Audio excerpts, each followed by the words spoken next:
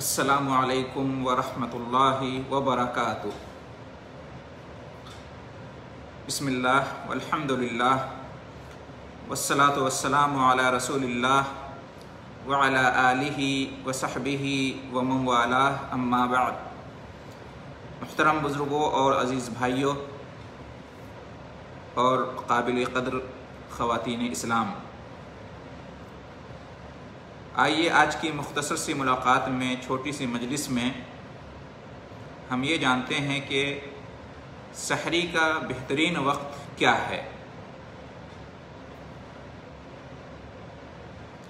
वो कौन सा बेहतरीन वक्त है जिसमें रोज़ेदार रोज़ा रखने वाला सहरी करे? ज़ाहिर सी बात है कि सहरी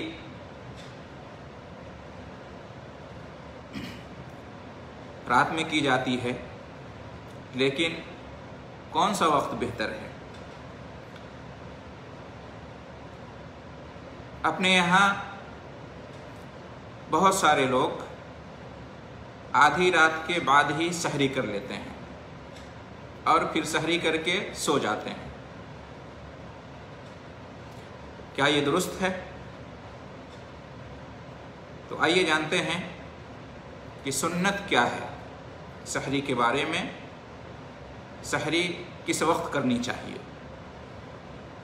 तो इस सिलसिले में सुन्नत और मुस्तहब ये है कि रोज़ा रखने वाला सहरी फज्र से थोड़ा पहले करे। फज्र की नमाज़ के करीब, यानी फज्र जो तुलू होता है, फज्र की अजान का वक्त जो शुरू होता है उसके करीब जाकर उससे कुछ पहले सहरी करे। यही सुन्नत है। चुनानचे हज़रत अनस रज़ी अल्लाह तु बयान करते हैं कि हज़रत जैद बिन साबित रज़ी अल्लाह ने बयान किया कि तसहरू मान नबी सल्लल्लाहु अलैहि के हज़रत जैद बिन साबित रज़ी अल्लाह और बाज़ दिगर सहाब कराम ने नबी करीम सल्लल्लाहु अलैहि वसल्लम के साथ सहरी की और उसके बाद नमाज़ के लिए निकल गए। नमाज़ को चले गए। ज़ाहिर सी बात है, उस वक्त कौन सी नमाज़ होगी? फज्र की नमाज़। हज़रत अनस रज़ी अल्लाह तु ने पूछा कि कम बई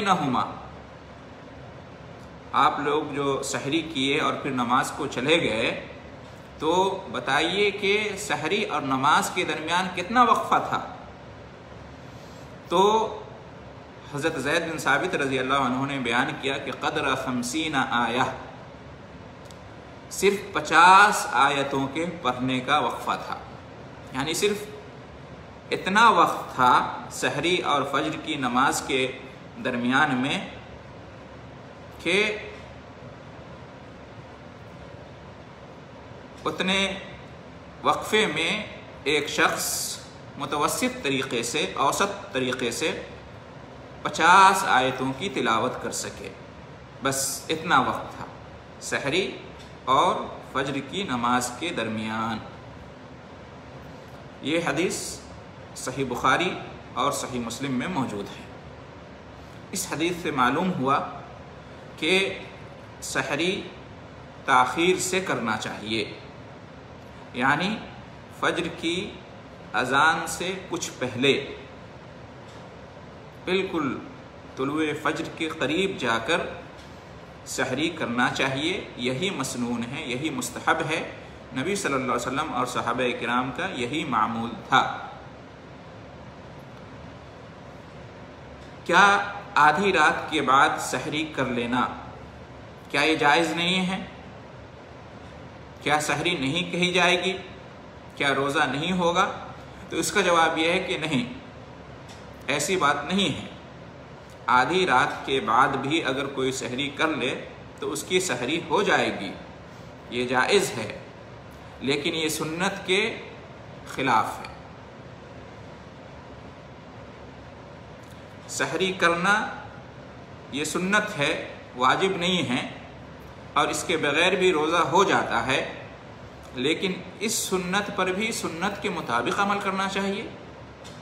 जब आप सहरी की सुन्नत पर अमल कर रहे हैं तो सहरी की सुन्नत किस वक्त अदा करना मसनून है, इसको भी जानना चाहिए और इस पर भी अमल करना चाहिए। और वो ये है कि फजर के करीब जाकर फजर की अजान से कुछ पहले बिल्कुल करीब जाकर सहरी करनी चाहिए, यही मसनून है। प्यारे नबी वसल्लम की ये प्यारी सुन्नत है, ताखिर से सहरी करना। और गौर करें कि सहरी को सहरी क्यों कहते हैं? सहरी हम अपनी ज़बान में कहते हैं, अरबी में सहूर कहते हैं। इसका नाम सहूर या सहरी क्यों है? ये सहर से है। और सहर कहते हैं सुबह के वक्त को। वक्त सहर कहते हैं ना? बिल्कुल सुबह सवेरा। लेकिन असल मतलब होता है सहरी का सहूर का, रात का आखिरी हिस्सा। रात का आखिरी पहर। रात ही का हिस्सा होता है। फजर से पहले ही का वक्त होता है, लेकिन रात का बिल्कुल आखिरी हिस्सा। रात का आखिरी पहर। इसलिए उस वक्त को सहरी का वक्त कहते हैं। सहूर इसलिए कहते हैं सहरी इसलिए कहते हैं कि वो बिल्कुल रात के ख़त्म होने से कुछ पहले सहरी की जाती है और सहरी के नाम पर खाया पिया जाता है। इसलिए उसको सहरी कहते हैं, बिल्कुल सुबह के करीब। तो शरीर एतबार से भी सहरी में ताख़ीर करना चाहिए, लेट से सहरी करना चाहिए, रात के आखिरी हिस्से में, फजर की अजान से करीब, बिल्कुल फजर से कुछ पहले, और लगवी एतबार से भी, कि सहूर अरबी ज़ुबान का लफ्ज़ है, जिसको हम सहरी कहते हैं, उसका भी यही मतलब होता है कि बिल्कुल सुबह के करीब जा, जाकर सहरी करना। वक्त सहर उसी को कहते हैं, बिल्कुल सुबह के करीब का जो वक्त होता है। इसी तरीके से सहरी इसलिए भी ताख़ीर से करनी चाहिए और फजर के करीब जाकर करनी चाहिए कि अगर इंसान आधी रात के बाद सहरी कर ले तो बहुत मुमकिन है कि उसकी फजर की नमाज़ फौत हो जाए, नींद का गलबा होने की वजह से। और ऐसा बहुत होता है कि रोज़ा रखने वाले आधी रात के बाद ही सहरी कर लेते हैं और उसके बाद सो जाते हैं तो सोए रह जाते हैं और फजर फौत हो जाती है। ये बड़ी अजीब बात है कि रोज़ा तो रखते हैं, सहरी और इफ्तार तो करते हैं, लेकिन इन सबसे अहम है नमाज़, और वो भी फजर की नमाज़ तो वक्त पर उसको अदा नहीं करते हैं। वक्त की पाबंदी इस बारे में नहीं करते हैं। तो ये बिल्कुल गलत है। इसी तरीके से तो इससे भी मालूम हुआ कि सहरी ताखीर से ही करना चाहिए। इसका फ़ायदा ये होगा कि सहरी करेंगे और उसके बाद फ़ौर नमाज़ का वक्त हो जाता है तो नमाज़ पढ़ लेंगे फजर की। और फिर फ़ायदा ये भी उसमें होता है कि सहरी का वक्त जो होता है, रात का आखिरी पहर, वो दुआ की कबूलियत का वक्त होता है। उस वक्त आप दुआ कर लेंगे, अल्लाह का ज़िक्र कर लेंगे, कुरान की तिलावत कर लेंगे। तो ये सोने का वक्त नहीं होता है। आमतौर से लोग उस वक्त सोए रहते हैं अपने यहाँ। इसके अलावा ताखीर से सहरी करने में एक फ़ायदा ये भी है कि इससे रोज़ेदार को रोज़ा रखने में दिन भर मदद मिलती है और आसानी होती है उसके लिए। वो लेट से सहरी करता है तो उसका असर दिन में देर शाम तक रहता है। तो उसकी वजह से भूख और प्यास की शिद्दत कम महसूस होती है बनस्बत उस शख्स के जो सहरी बहुत पहले कर ले, आधी रात के बाद कर ले या ना करे। तो ऐसा शख्स ज़्यादा एक्टिव और नशीत होता है और ज़्यादा चुस्ती फुर्ती उसमें दिखती है जो लेट से सहरी करते हैं। तो ये भी एक बड़ा फ़ायदा है। सहरी का फ़ायदा यही है ना कि इंसान जब रोज़ा रखे तो उसे तकवीत मिले। भूख और प्यास की शिद्दत कम से कम महसूस हो और वो इस कदर एक्टिव हो कि रोज़ा रखते हुए वो नमाज़ भी अच्छी तरीके से अदा करे, जहर की नमाज़ है, असर की नमाज़ है, कुरान की तिलावत भी करे, अल्लाह का ज़िक्र करे, और फिर जो ज़रूरी काम काज होता है वो भी करे। तो जब आदमी सहरी नहीं करेगा या सहरी आधी रात के बाद ही कर लेगा तो इससे फ़र्क पड़ेगा। वो दिन भर उतना ज़्यादा चुस्ती फुर्ती उसके अंदर नज़र नहीं आएगी, एक्टिव नहीं होगा, उसको ताकत नहीं मिलेगी अपना काम काज करने में, इबादत का काम करने में। लिहाजा ये भी फ़ायदा है सहरी लेट से करने में।